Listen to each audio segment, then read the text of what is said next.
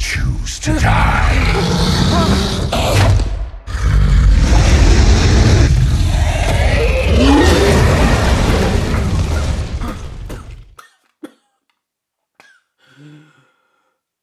I've got a really cool idea. Today's video is sponsored by AnkerMake. Make more with less effort. I'll be the judge of that.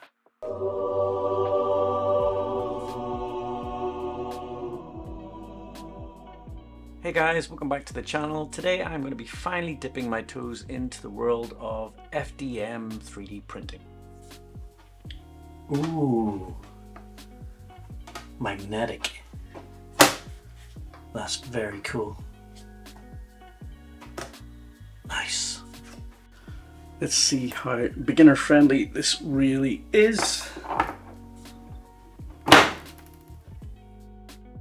So, as you can probably tell, I've been sent an FDM 3D printer, specifically the M5C by AnkerMake. And with the tagline of make more with less effort, this couldn't be more perfect timing for me quite frankly. Because my real life job has been kicking my butt this year and finding the time for my hobby and making videos has been very difficult indeed. I'm excited to give this a try though because I have had several projects floating around in my imagination that require some big 3D prints, but first I had to get this thing up and running. Hey! Please press the button once on the printer you want to connect to. Uh, Okay, that was way easier than I was expecting. I think I had to screw in about 8 screws and plugged in a couple of wires. Once assembled, I simply downloaded the phone app to connect, name the printer and level the build plate. Of course I wanted to give the printer a maiden voyage with a test print, but I really didn't want to print off that little boat that everyone seems to print off when testing printers. Straight off the bat, I wanted to start putting this machine to the test.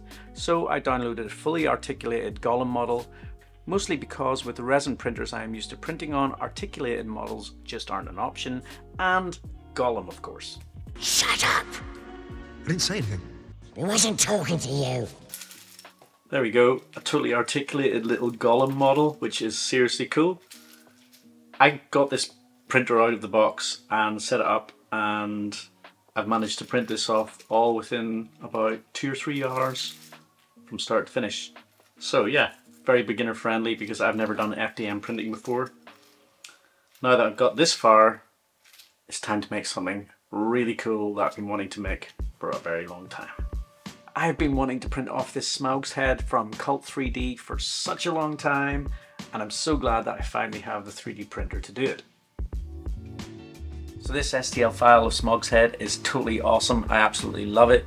It's just a little bit too long and it's going to protrude a bit too much from my project. So I'm going to use Meshmixer to cut the model in half and then I can build it up from probably about here upwards. I don't need all of that neck and all of those spikes at the back. So Meshmixer. So if you have an STL file that you want to edit before printing, then Meshmixer is the program for you. To cut a model, you simply navigate to the Edit tab and scroll to the Plane Cut function. You then simply grab and drag the arrows on your desired axis to the point of the model where you wish to cut. Decide if you want to keep or trash the excess model and press accept. And there you have it, you have a perfectly cut STL file ready to export and print. And we need to export it as an STL file, Smaug cut. Complex object in scene. One or more objects being exported is complex, non-manifold. The resulting mesh file may have errors. Do you wish to continue?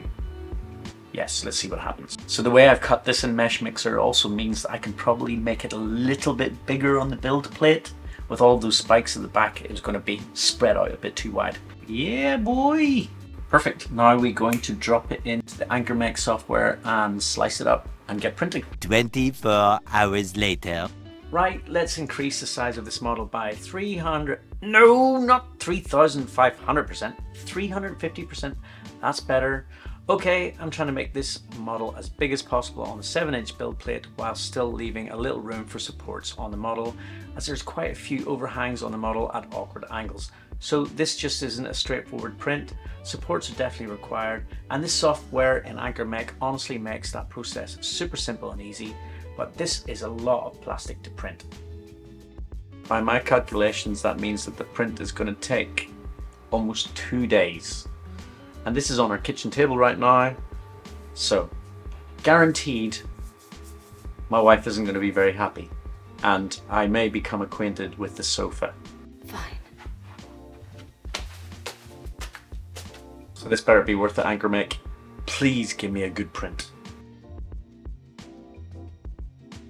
Straight away, this machine started printing like a beast and everything was looking super smooth. The only problem I could see arising is mechanical failure because there's so many moving parts. The thing about moving parts is that I also have a cat and I spent most of the first evening worrying that Biscuit was going to attack the printer. Night, Biscuit. You're going to keep an eye on that for me? Just don't touch. Get down. Bruh. Okay, things didn't go quite according to plan with that print last night. As you can see, I no longer have a 3D printer on my kitchen table, and I have a partial print here, which has kind of gone wrong. Now, the reason for that is this table is basically the most unstable table that has ever existed on the face of the earth. When my printer really got going last night and got to about this stage, it was just rocking backwards and forwards and just going jigga jigga jigga jigga jigga jigga jigga. The sound of it was really really bad, and the print was starting to go off a little bit. So obviously this printer needs a more stable surface. So I've started the print again over there. So over here on a solid counter, this print seems to be going so much more smoothly. From the beginning with this print, I could just hear that everything was a bit off kilter and it just didn't seem right. I also tightened up the belt inside the y-axis of this printer and that has smoothed everything out as well. And also just to make sure that this print went well, I kind of slowed the print speed down and I've also put it on precision mode. So it's going a bit slower than what it was over on the kitchen table. Also, I haven't mentioned anything about this button that's on the printer and this is one of the selling features. So it's a play pause button and I'm really tempted to push it, but everything's going so smoothly with this print, I'm not going to go anywhere near it. Although I am kind of tempted.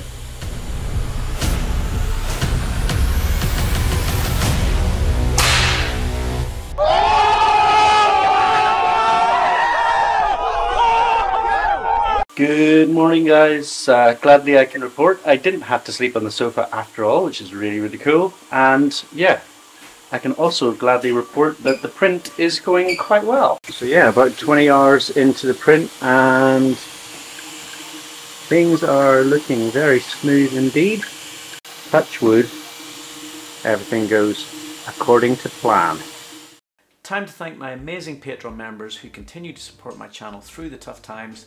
If your name is rolling across the screen right now, you are an absolute legend. I love you guys. Also, if you're interested in printing either of the files in this video, then you can find links to them both in the description below. Lastly, why not be epic and subscribe to the channel? What are we waiting for?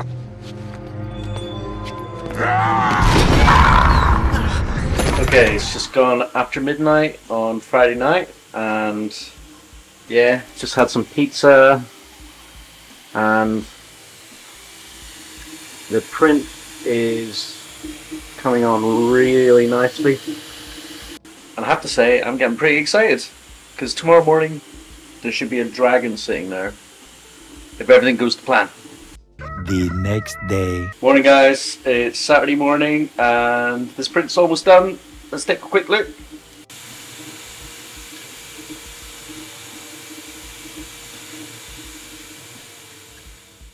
So there's a famous quote by Robert Burns that could apply here. The best laid plans of mice and men often go awry.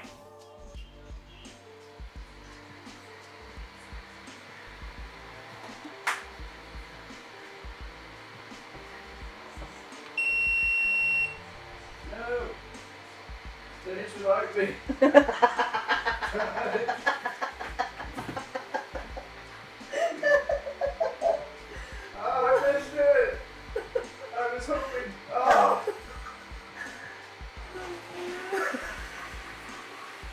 Dang it! Caught sitting on the toilet. I was planning to go like this, and it'd be all like, "Oh yay, it's finished!" But I was on the loo. Oh well. Okay, we can turn off the printer. That's been running for two days. And see if we can pop this thing off the build plate. Let's go. We have a dragon's head. Finally, I get to take these supports off and see just how good a print we've got under here.